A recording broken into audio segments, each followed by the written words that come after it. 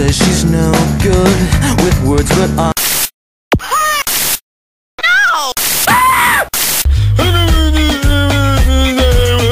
Oh my God!